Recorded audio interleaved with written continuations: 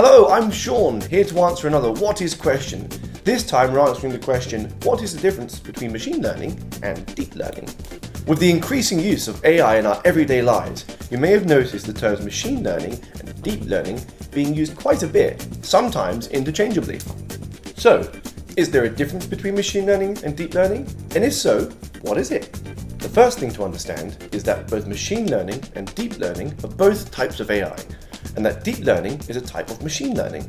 So deep learning is a subtype of machine learning, which is itself a subtype of artificial intelligence.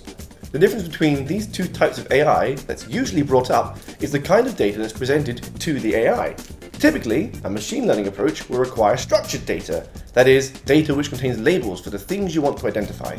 So, if I had a bunch of images of cats and mice, a person would need to sit down and label each image as either a cat or a mouse, so that the machine learning algorithm could learn the difference between those examples. Now, deep learning is a little bit different. If I had the same dataset but didn't label any of the images, the deep learning algorithm would work to figure out the differences between the two categories and group them together. So even though it wouldn't explicitly know that one thing is a cat or a mouse, it would still be able to say, I think it's this thing or that thing.